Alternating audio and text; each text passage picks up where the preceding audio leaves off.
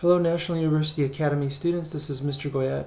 Um, checking back in with you. I uh, was just following up on a, just stop there for a second to break up the video into smaller portions for easy upload and email. Um, this is a continuation of the Unit 1 chapters 1 and 2 review.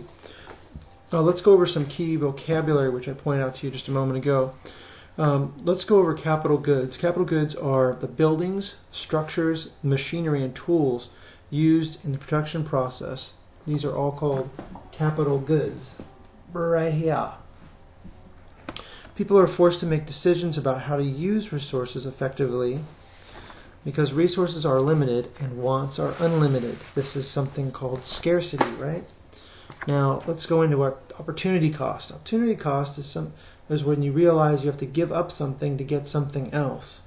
Um, a, a, good example that the um, the textbook makes and or, or the lecture makes on the on the website is that you are in a clothing store and you see a pair of pants uh, and a T-shirt that you both you like you like them both. However, you you only have enough money for one of the two items, so you decide to buy the pants. What is the opportunity cost in this situation? Well, the opportunity cost, that is the thing you give up, is the T-shirt because you realize you don't have enough money to buy both. Uh, the product's usefulness to a person is called its utility. So don't forget utility. A product's usefulness is called its utility. In truth, all economies today are mixed.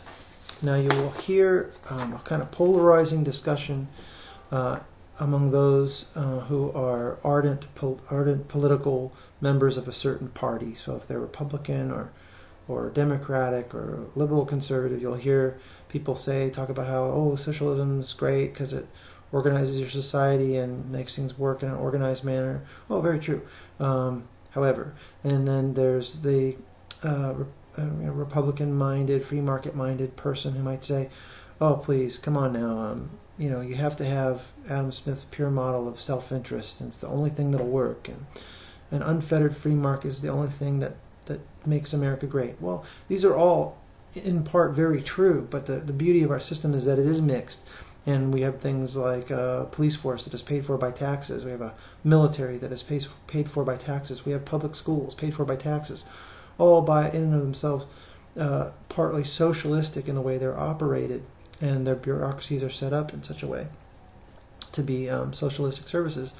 Uh, we have commonwealth things like roads and um, utilities that we use jointly that are social in nature. Individuals and corporations um, may uh, may not own these; they might be commonwealth and shared.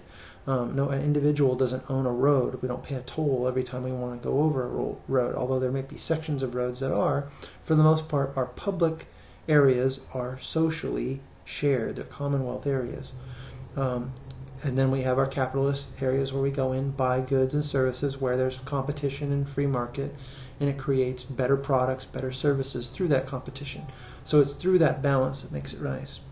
Um, so that the, the book points out that we have mixed economies, not either one of the two there. Um, in which economic systems do individuals answer the basic economic questions? And that would be, of course, in uh, the market economy. In a market economy, the, the, the market I just described in the free enterprise system, where I'm an individual, I want to buy a service or a product, uh, I'm going to shop around and find that service or product my self-interest, the things I need are going to those that collective interest that I have is going to inform me as to what I want, and then I'm going to go to that vendor and whoever's providing that service or product, I'm going to get that product. Um, when the government comes in and fixes prices or says you can only buy this product and creates either a government monopoly or in the free market system, if a uh, um, if a competitor buys out all the competitors underneath it, forms a monopoly or an oligopoly, and creates uh, a lack of choice, a lack of truly free market, that can evolve out of a capitalistic, capitalistic system. It can also evolve out of a social, socialistic controls. Um, but yes, in a market system, the individual decides, makes this, the basic choices about um, ownership. The feature that distinguishes the U.S. economy from a pure market model is limited government involvement. Um, The basic fact of economic life is scarcity. Scarcity, remember, is um, the lack of the lack of resources and unlimited wants. When new technology is introduced, the production possibilities curve will shift to the right. This is on page, um, I think it's on page 25. Sorry, page 13. I'm going to skip over that so I can show you where that's found. Page 13, it looks a little bit like this. So turn to page 13, you'll see that curve that I was talking about.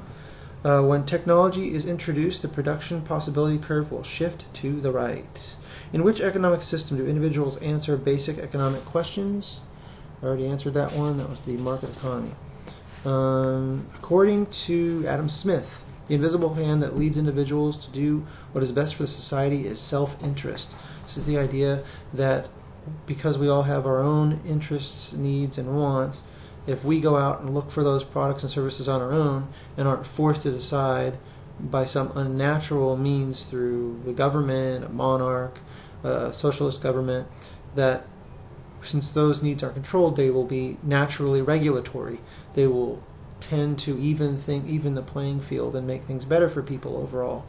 Um, this isn't always the case, but it is definitely the capitalist system is definitely good because it tends toward that.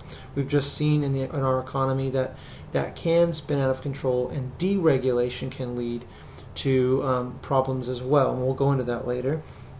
Economies that are closest to the pure market model are classified as capitalist. A pure market model is where that self-interest is determined uh, by the individual and what I buy, what I choose to get is, is picked up by the individual person um, based on their own needs and wants. Under democratic socialism, individuals are able to influence economic planning by voting in elections for government government officials. Ownership of pro- private property is characteristic of free enterprise. Um, when in socialist and in communist nations, you'll see the government owns the means of production, the factories, the businesses, um, and they own the property. So uh, if I want to determine what I want to sell a product for, or how many units of a product I want to put out on the floor, or what services I want to provide for my public, uh, the government's going to come in and tell me what to do. There's going to be a bureaucrat who's going to come in and tell me how exactly how to run my business. This can be a very negative, negative and stifling thing for a country. And in nations like India that are democratic, because they have socialist bureaucracies, they suffer uh, to try to stimulate growth. Uh, Japan um, is a country that has no problem stimulating growth. I'm going to take a break here and break up the video into three parts. I'll come right back, stopping for just a moment.